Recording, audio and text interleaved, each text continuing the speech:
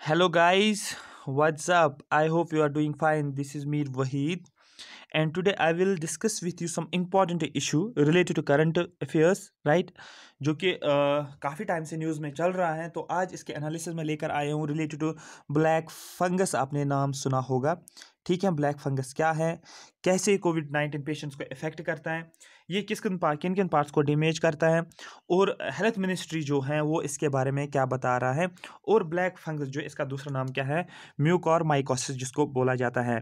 ठीक है, किससे फैलता है? स्प्रेड किससे डिफिशन सॉरी सिम्टम्स इसके क्या क्या हैं? और किस, कैसे इसको हम प्रिवेंट हो सकते हैं? और इसका ट्रीटमेंट क्या है? ये सब कुछ हम जानेंगे इसमें राइट तो दैट मीन्स आप एक्सपेक्ट कर सकते हो ये क्वेश्चन इसमें, क्योंकि काफ़ी ज़्यादा न्यूज़ में चल रहा है एडिटोरियल में भी अब आ रहा है ये। एडिटोरियल्स में कंटिन्यूसली द हिंदू में भी इंडियन एक्सप्रेस में भी देखने को मिल रहा है इसके एनालिसिस तो ये जानना आपको ज़रूरी है, आप एक्सपेक्ट कर, अगर करंट से क्वेश्चन आपको आ जाएगा तो यहाँ से आपको क्वेश्चन बनेगा। केस में तो हंड्रेड परसेंट है, ठीक है क्वेश्चन पूछ सकते हैं जे कि एस में क्वेश्चन पूछ सकते हैं, क्योंकि करंट आपके सिलेबस में है नेशनल इंटरनेशनल इंपॉर्टेंस तो पूछ जाएगा आपको क्वेश्चन और पता भी होना चाहिए, चल क्या रहा है आसपास अभी। ठीक है I am presenting this lecture series through Wahid sir's academy one of the best platform for free education right तो ज़्यादा से ज़्यादा शेयर करो सब्सक्राइब करो so that you will get regular updates right चलो हम स्टार्ट करते हैं। सबसे पहला पॉइंट ऑफ़ डिस्कशन क्या है? जानना है हमें ये क्या होता है? ब्लैक फंगस दूसरा नाम अगर आपको क्वेश्चन में पूछा जाएगा कि ब्लैक फंगस जो है, इसका दूसरा नाम क्या आपको बोलना है? म्यूकॉर माइकोसिस याद रखना है। और ये किन पेशेंट्स में देखने को मिल रहा अभी कोविड नाइन्टीन पेशेंट्स को। ऐसा क्या है कि कोविड नाइन्टीन पेशेंट में देखने को मिल रहा है? सबसे पहला मैं ब्रीफ आपको बताऊँगा, कुछ मोटा मोटा आपको बता देता हूँ। सबसे पहला म्यूकॉर माइकोसिस क्या होता है? सबसे पहला पॉइंट आपको याद रखना, ये एक फंगल इन्फेक्शन है नंबर फ़र्स्ट पॉइंट आपको याद रखना है it's a fungal infection number second आपको याद रखना, ये किन किन ऑर्गन को इफ़ेक्ट करता है? आपको बोलना है कुछ वाइटल ऑर्गन हमारे पास है। एक सेकंड हाँ। लाइक like, ब्रेन की बात करेंगे और कुछ इंटरनल डैमेज ईयर का इंटरनल डैमेज हो सकता है। नोज़ इसमें इन्वॉल्व होती है थ्रोट इसमें इन्वॉल्व होता है और माउथ इसमें इन्वॉल्व होता है। यहाँ तक ये पॉइंट आपको समझ आना चाहिए ये एक फंगल इन्फेक्शन है सबसे पहला पॉइंट ठीक है दूसरा जो है ये बैक्टीरियल नहीं है मैंने क्या बोला ये फंगल है। दूसरा मैंने क्या, ये वायरल भी नहीं ये क्या है फंगल है? दूसरा मैंने क्या बोला, आपको किन किन पार्ट्स को ये डैमेज करता है? आपको बोलना है ब्रेन और ईयर नोज़ थ्रोट माउथ जो होता है, इसको इन्वॉल्व इसमें हो जाता है। ये कॉन्टेजियस नहीं है, ठीक है? कॉन्टेजियस डिज़ीज़ नहीं है ये, कि ये स्प्रेड नहीं होता है। इस तरह से कॉन्टैक्ट होने से स्प्रेड नहीं होता, ये आपको याद नहीं इट इज़ नॉट कॉन्टेजियस ठीक है? ये आपको पता होना चाहिए। फिर कुछ प्रेवलेंस ये आपको जानने की ज़रूरत नहीं है, ठीक है? अंडरलाइन कॉज ये आगे मैं बता देता हूँ क्यूअर किस तरीके से किया जाता आगे देखते हैं हम, ठीक है? यहाँ पर आप याद रख सकते क्यूअर में main line of treatment is anti fungal drug एक ड्रग यूज़ किया जाता है, जिसको बोलते हैं एंटी फंगल ड्रग जो डॉक्टर्स हैं, जो एनालिस्ट्स हैं, वो क्या बता रहे हैं? उन्होंने बोला कि एक ड्रग का नाम इन्होंने बताया। एक ड्रग है जिसका नाम है एम्फोट्रिसिन बी, याद रखना, एम्फोट्रेसिन बी जो है, इसका नाम है इस ड्रग का, जो कि बोला जाए एक एंटी फंगल ड्रग है, जो पेशेंट्स को हम दे सकते हैं, ठीक है? आगे देखेंगे, मैं आपको मोटा मोटा ये बता रहा हूँ, यहाँ पर मोस्ट इंपॉर्टेंट पॉइंट बनता है क्या है, जो आपको याद रखना है, जो यूनियन गवर्नमेंट जो है, ठीक है, इसने क्या किया asked the states to declare mucor mycosis the fungal infection being reported in COVID nineteen patients as epidemic, इसको डिक्लेयर किया गया है यूनियन मिनिस्ट्री ने। यूनियन हेल्थ मिनिस्ट्री ने इसको डिक्लेयर क्या किया है? उसने बोला कि जो ये फंगल डिज़ीज़ जो है, ब्लैक फंगस जो है, जो ये म्यूक और माइकोसिस जो है, इसको डिक्लेयर किया जाए, क्या? एपिडेमिक। आ रही बात समझ, किन में? इन कोविड नाइन्टीन पेशेंट्स के अंदर। आई होप ये बात आपको समझ आ रही होगी।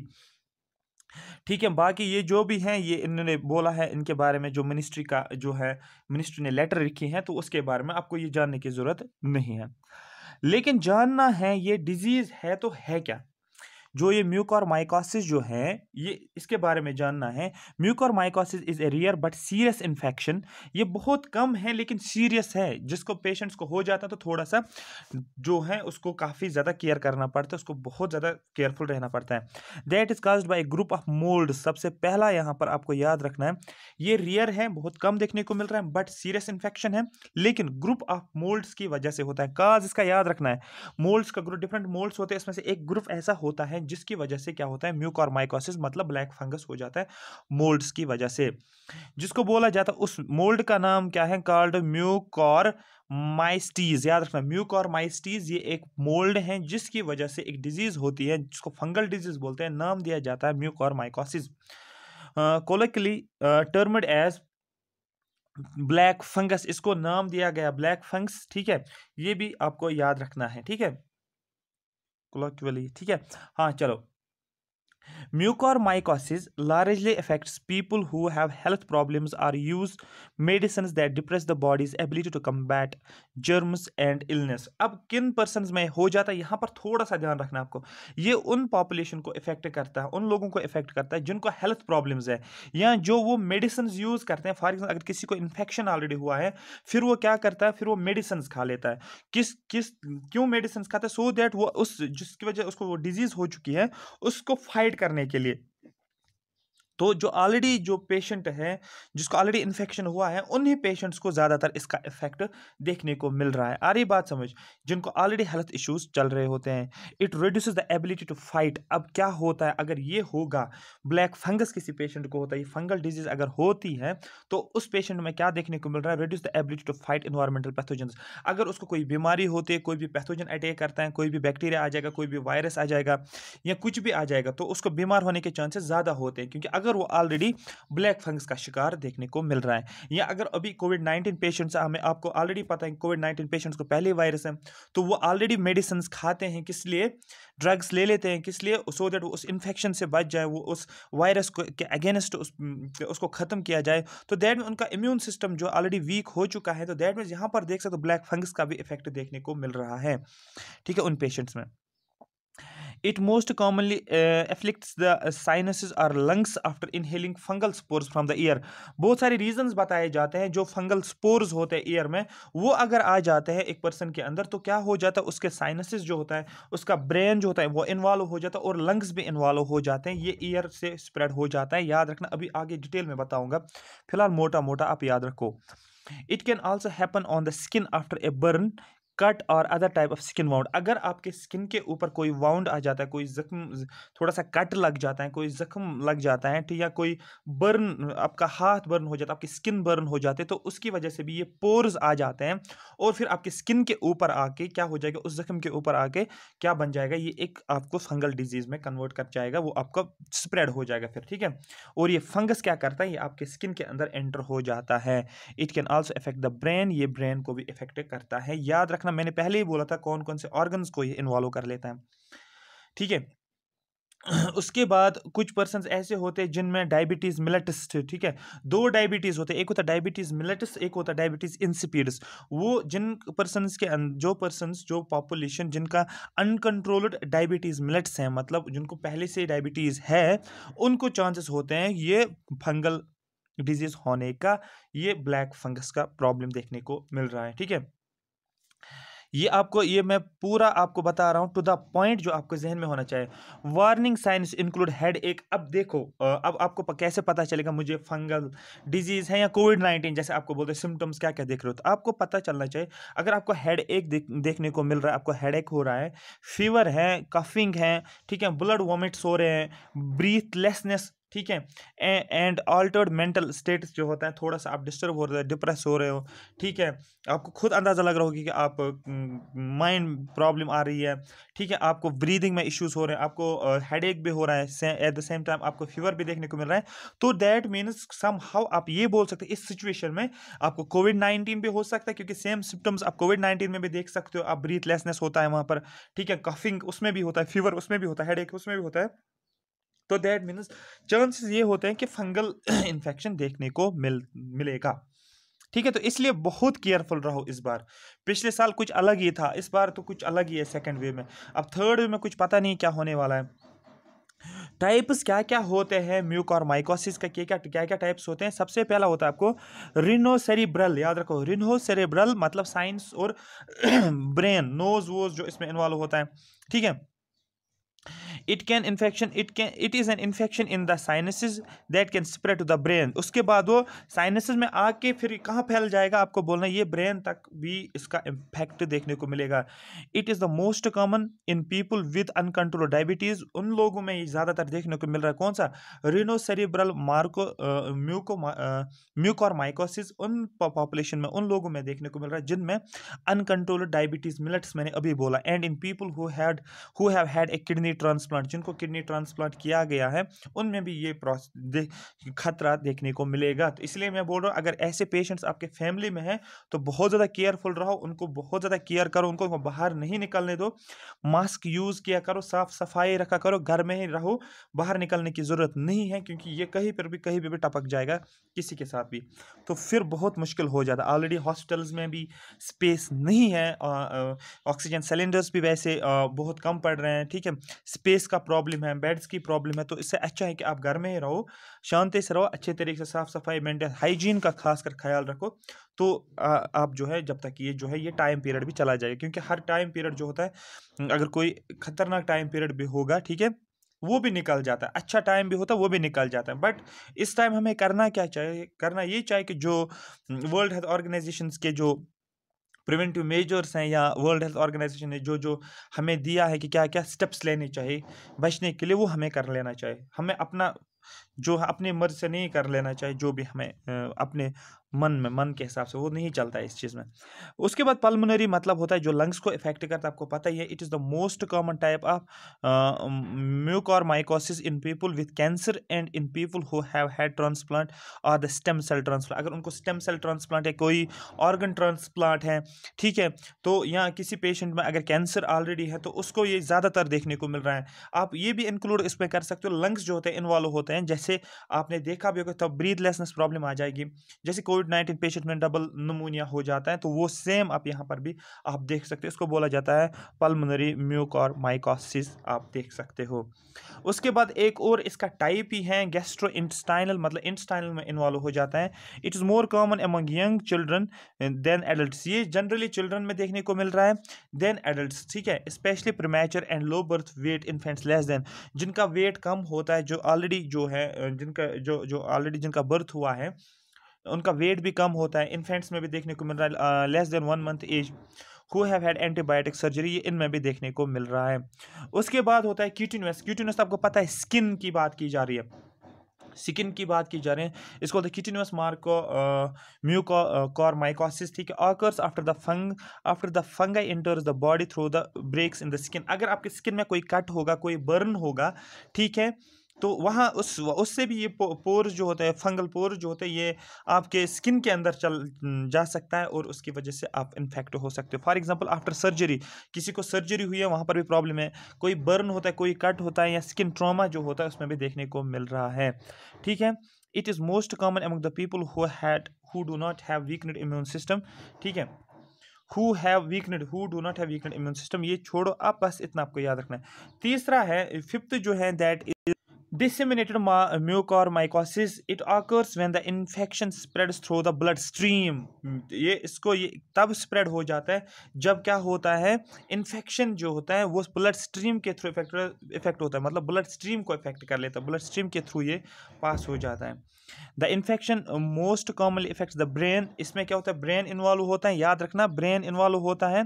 दूसरा but also can affect other organ such as spleen heart और स्किन को भी इन्वॉल्व करता है। ये आपको याद रखना है।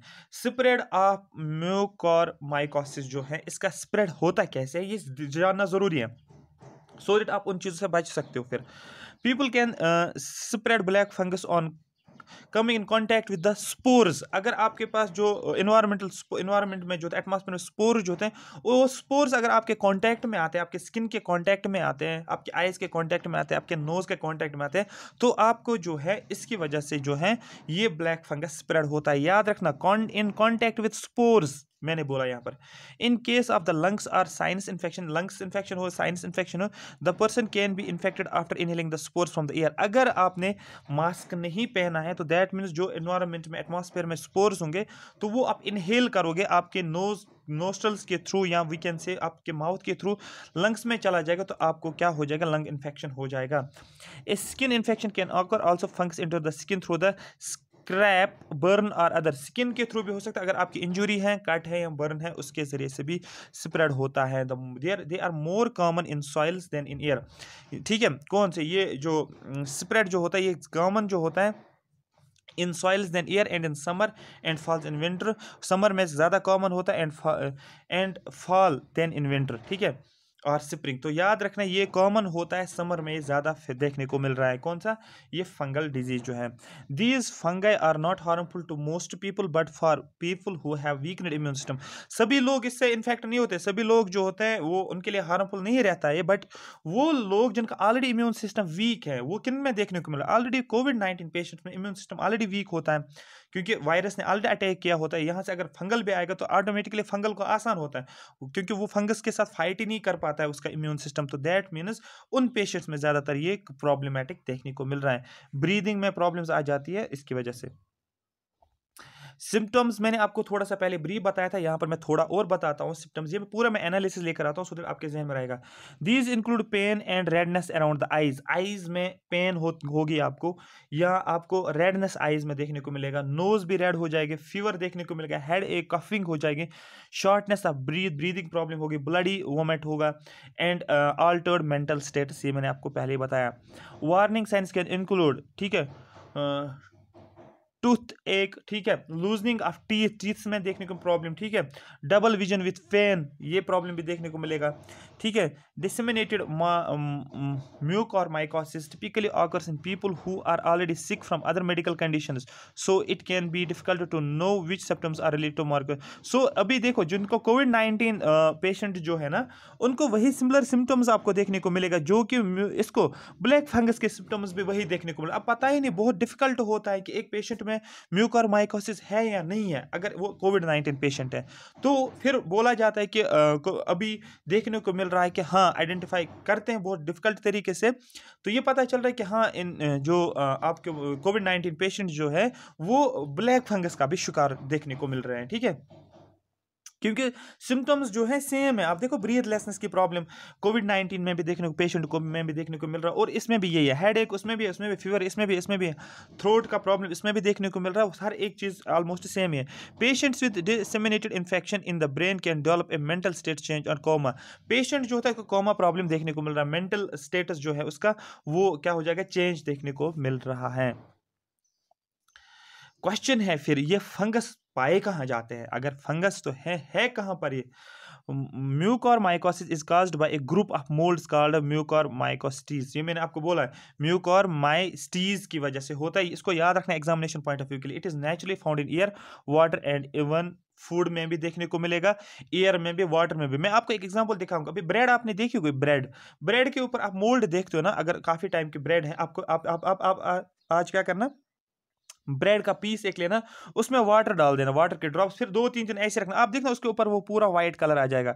ठीक है, पूरा वाइट कलर आ जाएगा। तो वो फंगस ही होता है और कुछ नहीं। मैं दिखाता हूँ आपको इमेज एक। सूर्य, आपको क्लियर? देखो यहाँ पर। देखो ये कुछ नहीं है, ये फंगस ही है, मोल्ड बोल सकते हो आप। ठीक है, इस तरीके से। देखो पेशेंट्स को क्या होता है? फेस का देखो स्किन इसका, देखो किस तरीके से क्या है।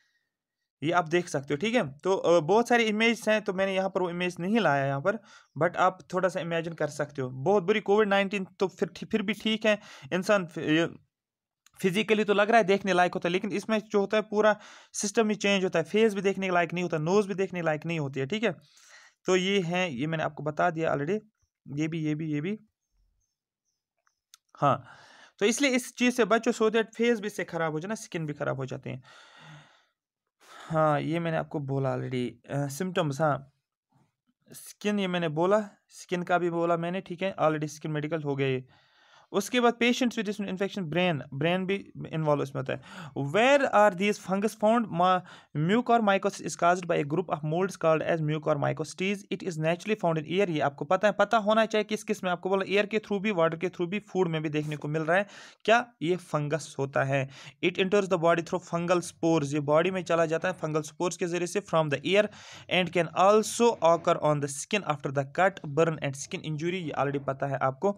लेकिन हम थोड़ा सा जानेंगे एक दो मिनट में कि म्यूक और माइकोसिस कोविड नाइन्टीन पेशेंट्स में इफ़ेक्ट इसको देखने को मिलेगा patients who have high levels of diabetes वो पेशेंट जिनमें डायबिटीज़ ज़्यादा है diabetes mellitus are at the high risk of contracting COVID-19.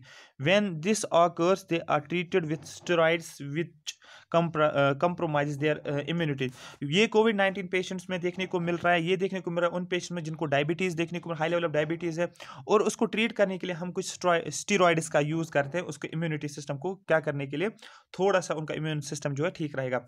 Doctors का क्या कहना है? Steroids can prove to be a trigger for ठीक है? म्यूक और माइकोसिस डॉक्टर्स का ये कहना है कि स्टेरॉइड्स अगर यूज़ करें, ये म्यूक और माइकोसिस के लिए एक शुगर का रोल प्रोवाइड करता है।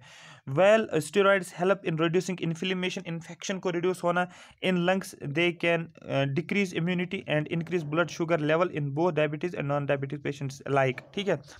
ये आपको इतना जानने की ज़रूरत नहीं बस यहाँ पर जानो black fungus disease is an additional burden on the country ये आपको पता है कोविड नाइन्टीन बर्डन तो पहले ही था कंट्री के ऊपर। अब यहाँ से दूसरा है ब्लैक फंगस ये एक एडिशनल बर्डन रहता है कंट्री के ऊपर. That is already grappling with more cases and fatalities during the second wave of the COVID nineteen ये तो पता ही आपको. Why and how it affects COVID-19 patient during the, during and post recovery? अगर COVID-19 patient है suppose कोई COVID-19 patient, अभी वो COVID-19 का पॉजिटिव पेशेंट है, उसके टाइम पे, इस टाइम पे, और जब वो रिकवर हो जाएगा, उस टाइम पे क्या ध्यान रखना है हमें, ठीक है? कैसे इसको क्या कर सकते हैं? पेशेंट्स को ध्यान रखना है। Medicine use in treating COVID nineteen tend to bring down the count of lymphocytes ठीक है? जो मेडिसिन यूज़ किया जाता है COVID nineteen tend to bring down उससे क्या होता है? लीफोसाइट्स का काउंट जो होता है रिड्यूस देखने को मिल लीफोसाइट्स क्या होते हैं? आपको याद, मैंने बोला था, आपको हमारे पास ब्लड सेल्स होती है। W B Cs R B Cs होती है और लीफोसाइट्स होता है। लीफोसाइट्स जो होते हैं are one of the three types of white blood cells मैंने बोला था W B Cs R B Cs red blood cells और W W B Cs white blood white blood cells के भी अंदर बहुत सारे टाइप्स हैं, ठीक है? एक होता है लिम्फोसाइट्स तो लिम्फोसाइट्स किसका पार्ट है आपको बोलना ये एक टाइप है किसका? लिम्फोसाइट्स का। Whose job is to defend our body against disease causing pathogen such as bacterial disease. अब ये lymphocytes का रोल क्या होता है? ये इसका रोल होता है, ये हमारी बॉडी को बचाता है डिफेंड करता है। डिफेंस मैकेनिज्म एक क्रिएट करता है कि अगर हमें कोई भी बैक्टीरिया कोई भी इन्फेक्शन कोई भी वायरल डिज़ीज़ या कोई भी पैरासाइट अगर हमारी बॉडी को इन्फेक्ट करता है तो उसको उसको डिफेंस मैकेनिज्म कौन प्रोवाइड करता है? डिफेंस का रोल कौन प्रोवाइड करता है? जो ये लिम्फोसाइट्स होते हैं, याद रखना। इसलिए इसका होना बहुत ज़्यादा ज़रूरी है। और जब इन्हीं लिम्फोसाइट्स का काउंट जब डिक्रीज हो जाएगा कोविड नाइन्टीन से, या फंगल हम बोलते हैं काउंट अगर इन्हीं लिफोसाइट्स का काउंट डिक्रीज हो जाएगा तो डेफिनेटली हमारा इम्यून सिस्टम वीक हो जाता है।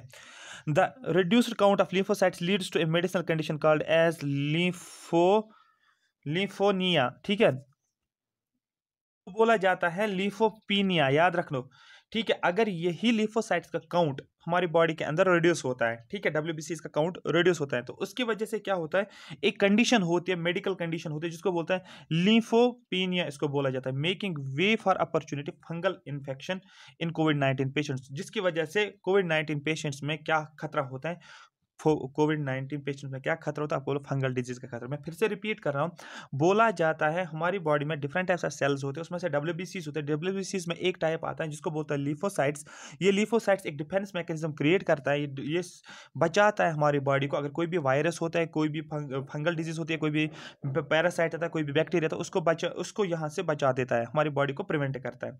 लेकिन अगर कोविड नाइन्टीन पेशेंट ऑलरेडी है, ठीक है, उसका इम्यून सिस्टम ऑलरेडी वीक है, उसमें जो है लिपोसाइट काउंट कम कम है, तभी तो उसका इम्यून सिस्टम वीक है। लेकिन जब उसका इम्यून सिस्टम ऑलरेडी वीक है, जब वी ब्लैक फंगस आ जाता है, वो ब्लैक फंगस ऑटोमेटिकली उसको जो है अटैक कर लेता है, क्योंकि उसका इम्यून सिस्टम वीक है, वो ब्लैक सॉरी वो ब्लैक फंगस को जो है लिफोसाइट्स कंट्रोल नहीं कर पा रहे डिफेंड नहीं कर पा रहे तो इसलिए देखने को मिल रहा है कोविड नाइन्टीन पेशेंट्स में ऑलरेडी देखने को मिल रहा है। There are there is a higher chance of occurrence of the mucormycosis in patients whose immune system is not functioning well and since COVID nineteen treatment tends to be suppress the working of the immune system it place such patients at a high risk contract the black fungus infection इसलिए बोला जाता है COVID nineteen patients में क्या होता है? Immune system already weak होता है और वो काफ़ी ज़्यादा जो होता है हाई रिस्क पे रहते हैं अगर वो ब्लैक फंगस का शिकार हो जाएँगे, ठीक है?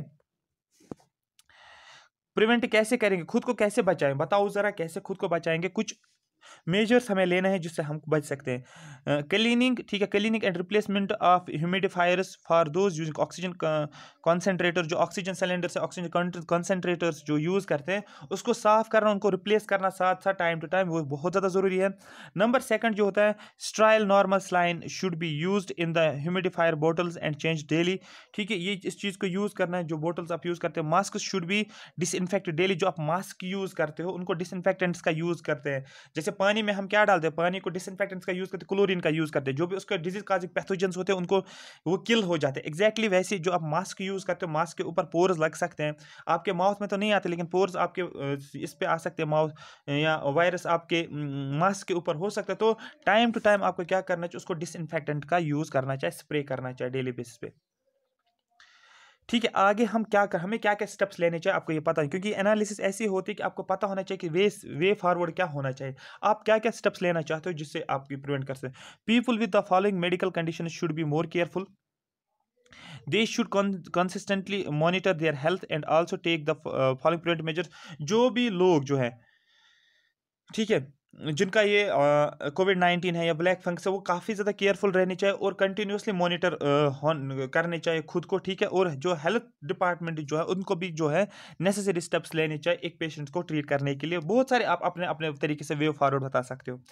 डायबिटीज़ पेशेंट जो होते हैं, जिनको अनकंट्रोल डायबिटीज़ मैंने बोला डायबिटीज़ मिलट जो होता है होता है plus steroid usages plus COVID COVID positive all three combined together place one under high risk of getting this infection उसके बाद those who are taking steroid should also keep checking their blood sugar level वो person जो कि steroids का use करते हैं, मैंने अभी बोला था स्टेरॉइड्स का यूज़ करते हैं ब्लड प्रेशर जो होता है ब्लड शुगर लेवल उससे बढ़ जाता है तो वो कंटिन्यूसली अपना ब्लड शुगर लेवल को भी चेक करता जाए। ये नहीं कि वो स्टेरॉइड्स खा लेता है तो ब्लड शुगर लेवल यहाँ से बढ़ जाएगा तो उसको भी कंटिन्यूसली आपको क्या करना चाहिए? चेक करना चाहिए। In most cases one who is not diabetic find that after taking steroid the blood sugar level shoots up अगर ऐसे पेशेंट्स भी होते हैं जिनको नॉन डायबिटिक होते हैं लेकिन जब वो स्टेरॉइड का यूज़ करते हैं, किससे बचने के लिए? इस फंगस से बचने के लिए.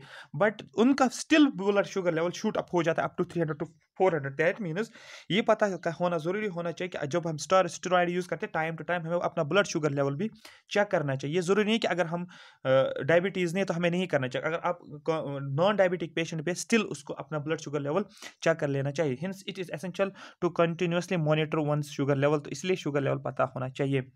Hence diabetic patient should always monitor and control their blood sugar level ये आपका कंप्लीट एनालिसिस जो है ठीक है? कंप्लीट हो गया related to muco muco mucormycosis जो भी था। ठीक है? क्या था ये?